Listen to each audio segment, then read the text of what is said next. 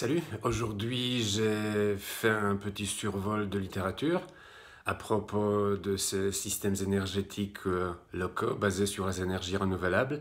Cette fois, euh, j'ai frappé une corde légèrement différente et j'ai passé en, revue quelques articles euh, d'une revue scientifique issue par la maison d'édition Elsevier intitulée Renewable Energy et c'est une approche plutôt managériale qu'économique.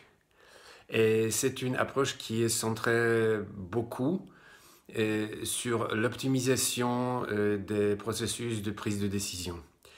Et comme par, accident, j'ai pu passer en revue deux, deux, articles qui se réfèrent à deux environnements socio-économiques très différents, l'Espagne et l'Inde.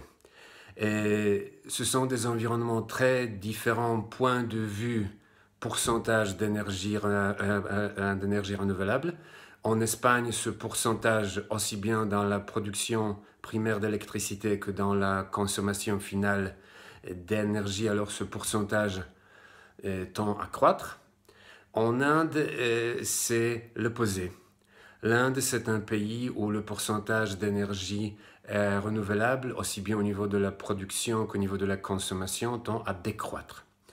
Donc deux articles, deux approches, euh, théoriques et, deux environnements différents. Point de vue, mon modèle euh, économique aussi. Hmm. Puis euh, l'Espagne a une densité de population nettement inférieure à celle de l'Inde et ça donne des résultats intéressants. Hmm. Le croisement de ces deux articles avec mon propre modèle. Alors je vous souhaite une bonne lecture. Salut